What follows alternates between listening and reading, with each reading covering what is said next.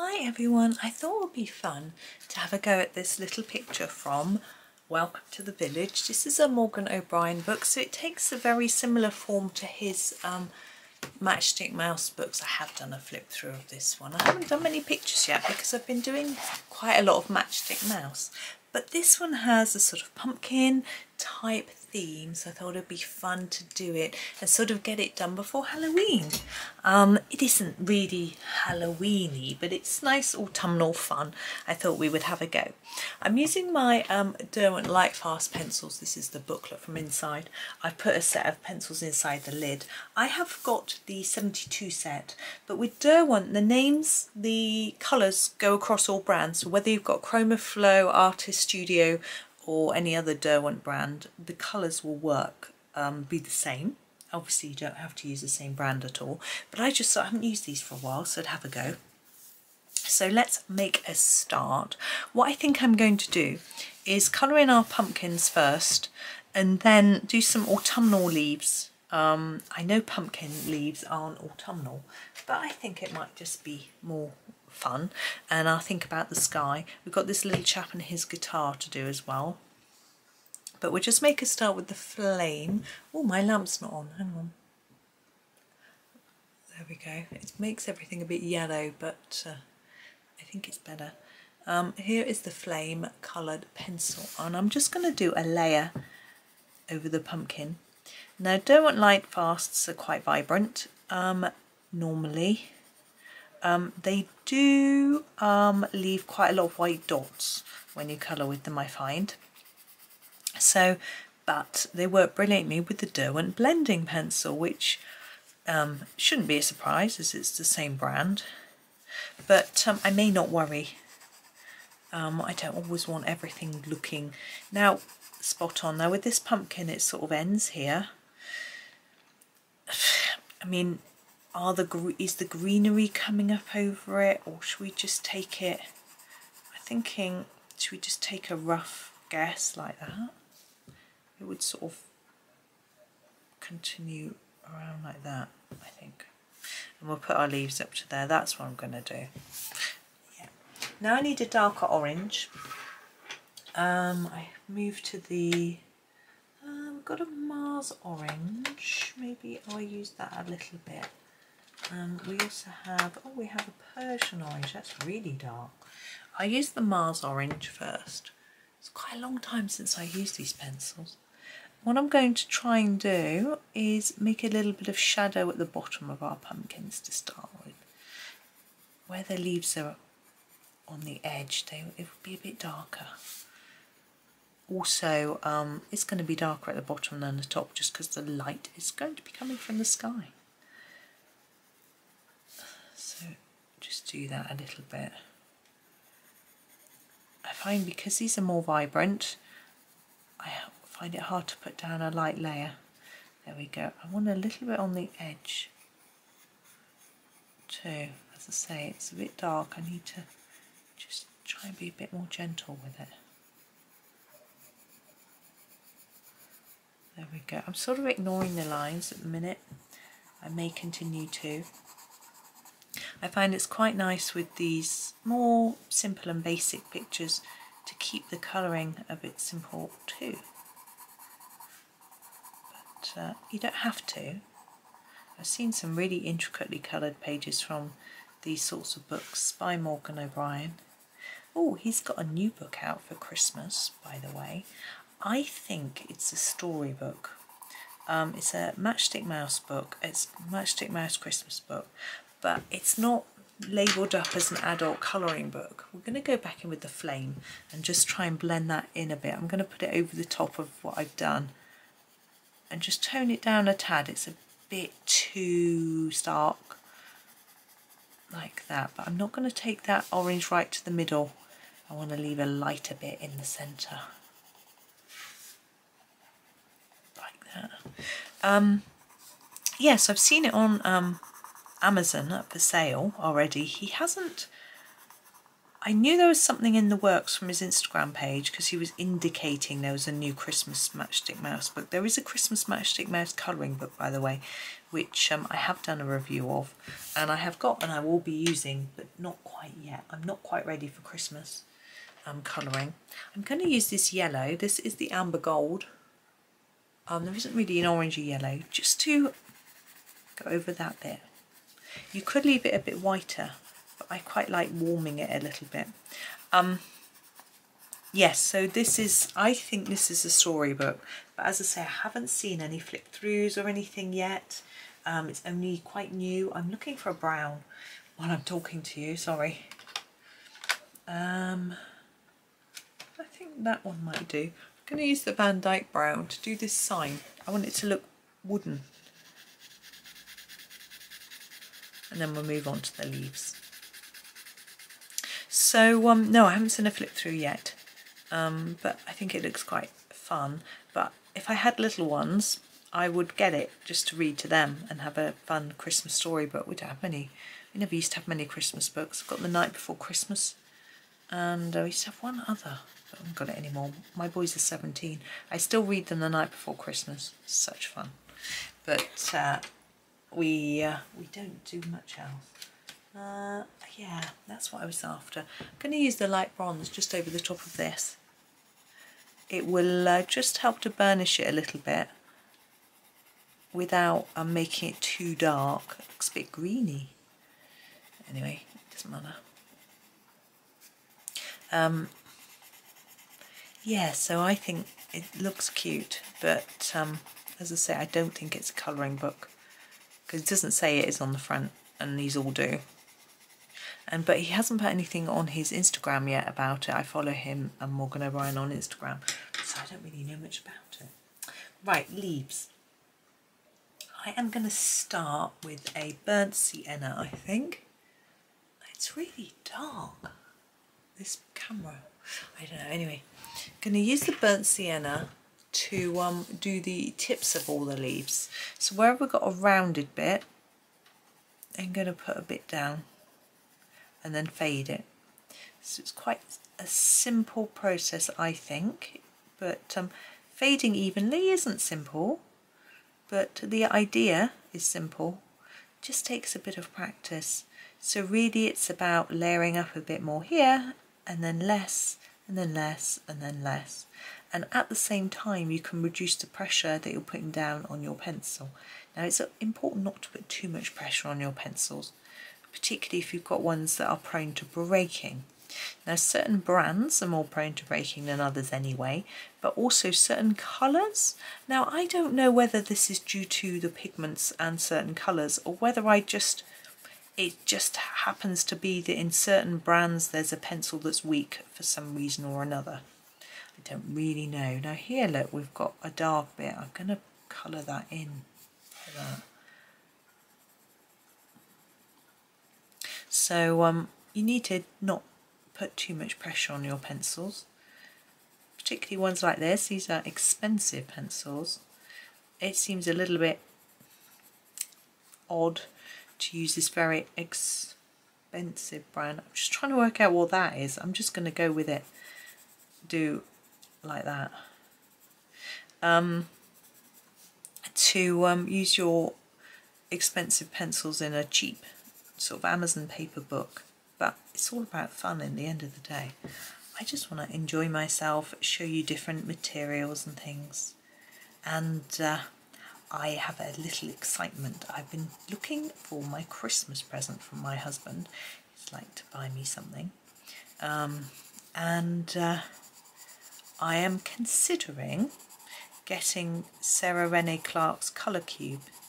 I watched someone's video on it the other day and they'd coloured using one of the colour combos and it was so pretty and although I don't tend to worry about what colours I'm that's a bird isn't it I just thought that's the top of the um a bit of a bush but it's not as a bird I think hmm.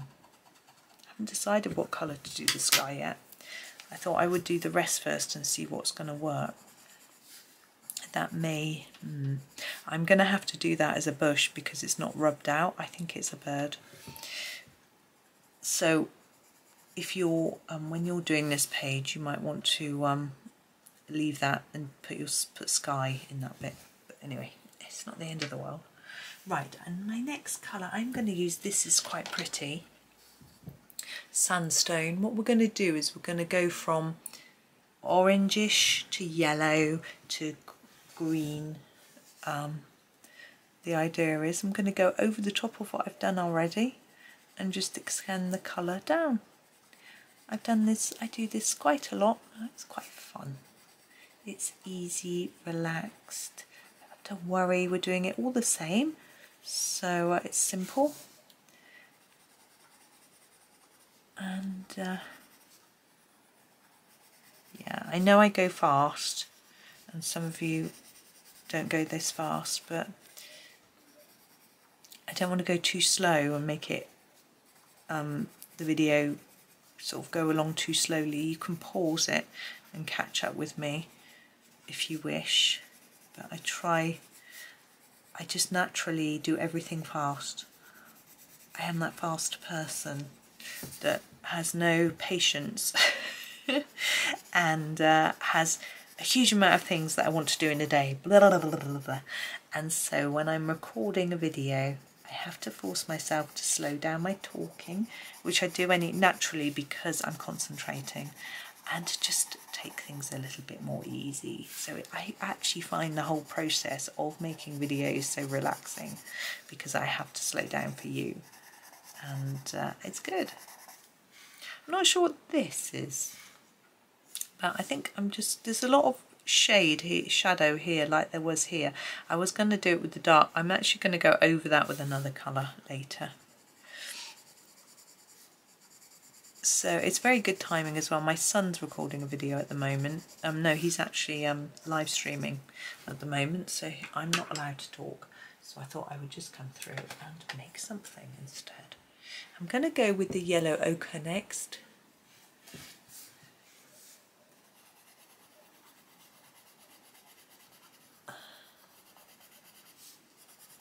and we're getting oh, I'm actually going to go over all of this which I didn't do just now.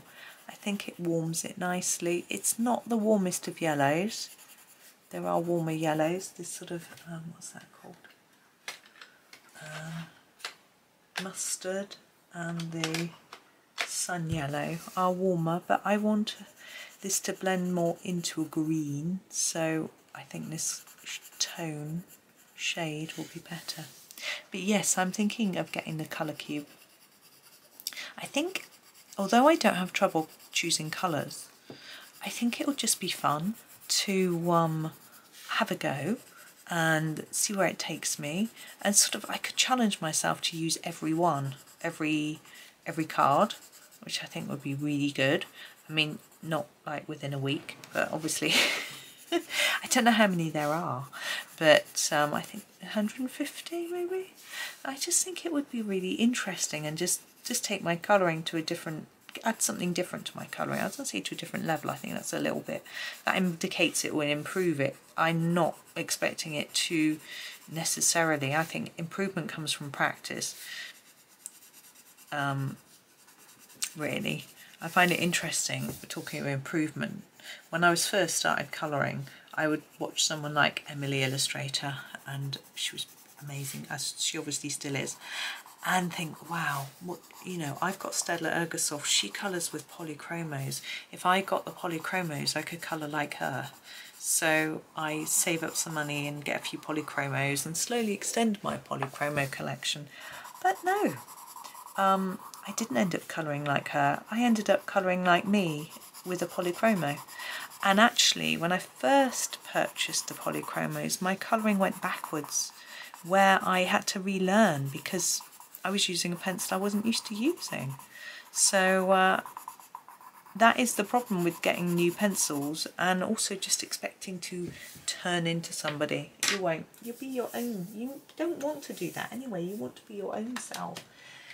This is my favourite green. This is the foliage. Oops and this is a more yellowy green I think. I'm actually going to start with it at the bottom put put down quite a bit and then fade it up into that. I find it easier to go that way than to try and apply it lightly first and then darken. There we go. I'm going to put a tad in a few other places too, there and there. Down here, look, we need a bit. That one looks like it needs a bit of yellow. I'm just going to go over it. There we go.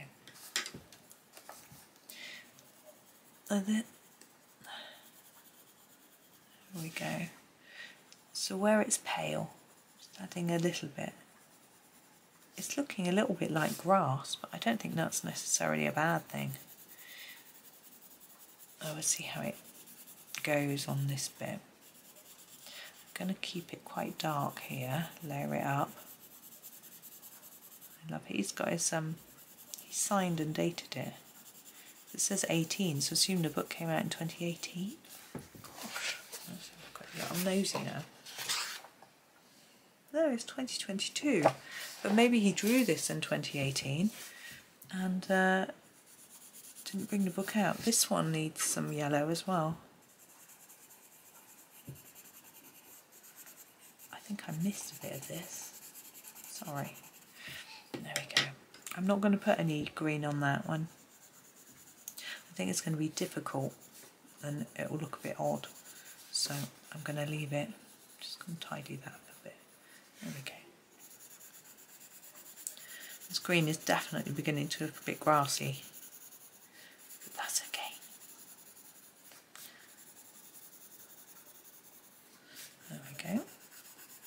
So the Derwent blending pencil is a great little investment and I find it works on every pencil that I've tried it on. So Ergosoft, I don't think I've tried it on Prisma because I've got the Prisma blending pencil, but sort of Artezas and Castle Arts and things like that, it works on them all. So it's a really good little pencil. It can make things look a little yellowy. It seems to deposit a bit of yellow colour, so it's worth being aware of that because if you're going to use it to, let's say, try and blend some blue, a pale blue or a white or something, it might leave a unsightly deposit. Gosh, that sounds a bit weird. But um, so just be aware of that, that it might not, um, you know, look perfect, but on the other hand, it's well worth giving it a go, I would say. I'm going to put green here and here, and then I'm going to actually put darker colour on top in a minute. I think this will just help it to look a little bit more like it works, to, ties together. So what I'm actually going to do is grab the Van Dyke Brown, which we've used already, and just go over these areas that are marked with the lines that indicate they're shadowy, like that. And then this one. I'm not going to do quite so many layers on this one, just a little bit. So you can still see their shadow there, but not too dark. The sun's coming in, it's just hitting me on the shoulder. It's lovely and warm. It's a strangely hot day. I had a hot flash earlier, it's so hot. I didn't know if it was a proper hot flash whether it's just I'd been outside cleaning the windows and um, doing other jobs, weeding the garden and cleaning the front door and the garage door and things like that. And um, just sitting back having a look and I'm going to fill in any areas that I think need it. I'm going to actually grab the yellow ochre and just go over this and just sort of blend it in nicely. You may not feel you need to do this, you might not want to do it, that's fine. It's just a little extra. So I, um, yeah, and I sat down at my desk. I suddenly got really hot and uh, phew, but, uh, it may have just been because I'd been outside and because I've been busy doing chores. It's nice to get some chores done though because uh, I've got um, visitors at the weekend trying to make the house look nice. It's very difficult to make my kitchen look nice when it's not finished. They're coming to see the kitchen, it's not finished. But you know, such is life. Um, I clean it to the best of my ability and they're going to be fully understanding, I'm sure, that um, that my um, all around every plug socket the um, there's big chips in the wall and hasn't been filled or painted. But, uh, and the radiator looks hideous because it um, needs changing for another one. But you know, my neighbour popped over to see it as well. She's off on holiday. And she wanted to have a quick look. But um, that was nice. Right, I am happy with that now. I think it looks very autumnal. Um, now, we have a guitar, we have a dog. I think he's a dog. Um, I'm not sure what colour to do him. Um, I don't think I want to do him brown. We've got brown here and here. I was wondering about a yellowish colour, but we've got quite a lot of... What colour's that? Hmm. Maybe we could do him a beige. It would be quite... Hmm. I was thinking of doing him to look a bit like a teddy bear, but let's use this colour. Oops. Let's, I'm going to use the brown ochre. I'm sorry if you can't see. I can't tell what you can see because um, of the weird light. I'm going to use this quite lightly. And if I do a sort of round and round movement, I'm hoping it'll look like he's slightly got a slightly furry texture, especially if I don't cover it with another colour. Because I think he looks like a fluffy teddy bear. My son's having a good laugh, quite funny. I'm going to do the base of his foot in the same colour. Um, not sure if that is a good idea, but I think it just ties it together. Because if I go for a darker brown, it might sort of blend into the leaves. I don't really want that. I want him to stand out a little bit. He's got his eyes shut, I think, looks like. Uh, now that's be the top of the guitar, won't it? Not his skin. So I don't know whether Welcome Great Pumpkin, I don't know if that is a thing from Animal Crossing. I really am very naive, I've never played. I don't know whether he is a character that needs to be a particular colour. I found out after I did the other the other pumpkin page from here with the duck. And when I looked up the duck, there seemed to be loads of different ducks in different colours, so I felt like perhaps it didn't matter what colour I'd done mine. I asked my kids because they've played Animal Crossing, my boys, and they said they didn't recognise this character. So uh, maybe doing him in this sort of colour doesn't matter. Hmm, I'm going to go over him all over again with the same colour. I think he's just not quite dark enough. This is something I I have begun to improve in my technique since when I first started. When I first started colouring, I would often just colour things with one colour and one layer. And um, I realise quite quickly actually that layering makes quite a difference. If you put a second layer on, it can make the whole thing look more vibrant. And also you can add different colours to your second layer to um, change the shading. I'm not going to do that on this one. I want to keep him, as I say, I don't want to shade him too much or else he might blend into the background. And uh, I don't want that. It's very tempting to do a sort of sunset or something for the background, for the sky, but I don't think I'm going to do that because we've got so much orange and browns going on. And the guitar we've got to do as well, and that for me would be brown. It does, they don't have to be, of course. Um, my son's guitar was, I can't remember, it wasn't brown. But I feel like it should be, so I'm going to grab some darker browns. I'm going to grab, go for the natural brown to start with, and we'll put some brown down on our guitar.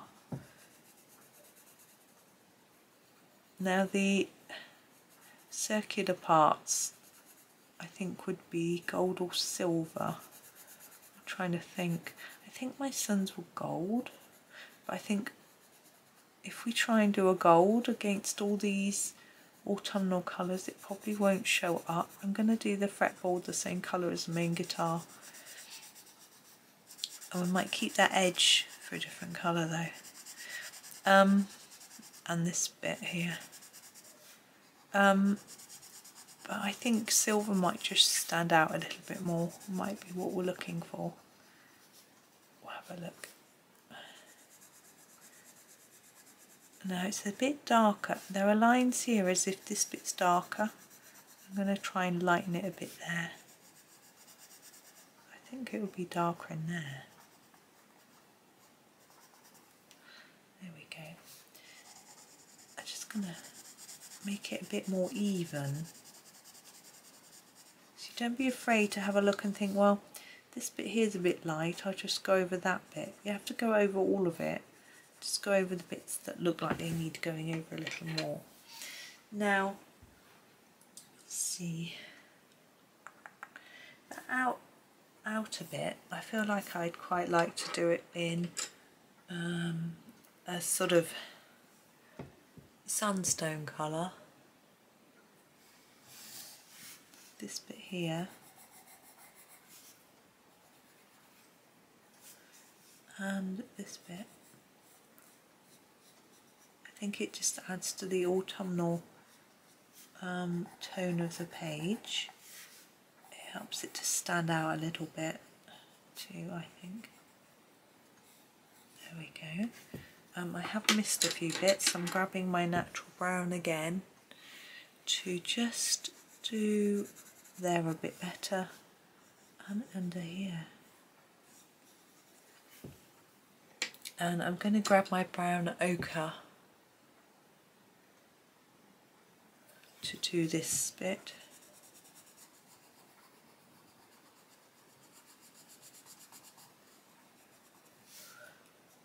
Looks quite goldish, which is nice.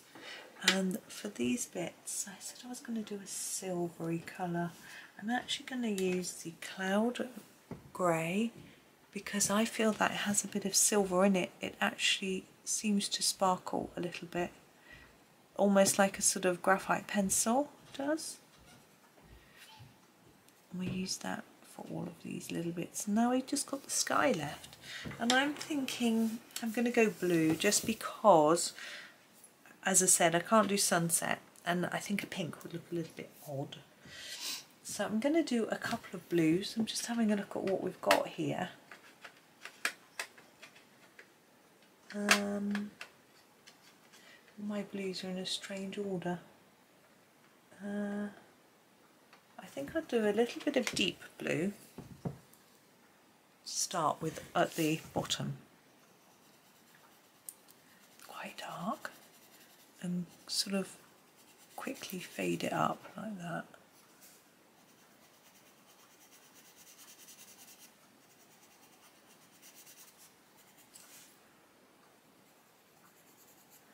Don't want it too thick a layer. We'll be going over it with our next blue anyway, so that will sort of burnish it down a bit.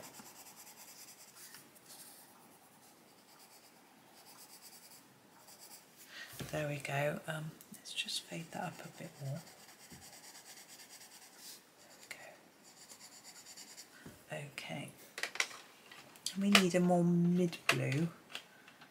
Uh, we have actually got a mid blue. Let's try that.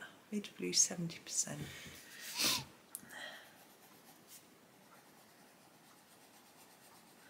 Go over the top of all of this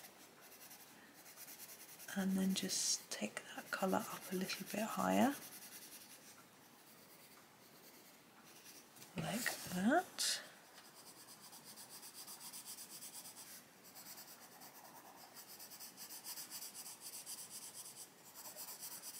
There we go. Now we want to go lighter. Um, I think we'll just go straight for the mid ultramarine. This is our lightest blue apart from the sort of um, arctic colour which I might use, I might not. I'm going to use this one quite thickly on top of this bit at the bottom and it will blend it but also um, lay over it and lighten it just slightly and burnish it all at the same time. and then we're going up and lightening it. Oops.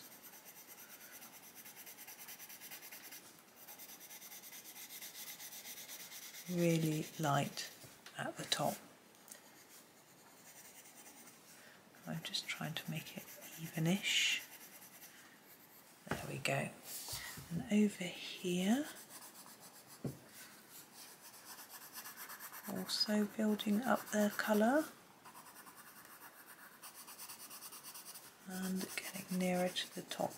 Now if you don't like doing this sort of graduated sky, I mean these small pictures are quite good for practicing this sort of technique. But if you're not keen, you could just use a blue pen to get a more even blue, although I find water-based markers quite difficult to get an even colour. Um, I'm just not I'm not very experienced at using them, which I think is the main problem. Um, you could use a um, gel pen or a glitter pen or something like that. Okay. Hmm, do we need a bit of Arctic? I'm not sure. I'm not sure that we do. I think we might be done. I'm just going to grab a dark brown. We've got a chocolate here to do a few bits on here. I want this to look a bit more woody. I'll put a few bits of wood grain in it and the same with this guitar just to emphasize it's got some marks on it already. I just want to put a few more on. It may not even really show up. There we go. There he is. As I say I haven't put any shading on on our actual character. I think he stands out more like that. And uh, I think he's it's uh, rather fun with the um, with the sort of autumnal colours so I hope that was okay for you. I did have fun. I hope um, I hope you did. But uh, thank you for watching. Um, please do subscribe if you haven't already. Um, it does make a difference to the channel. Um, as I say, thank you all for watching and happy colouring. Have a lovely, lovely day.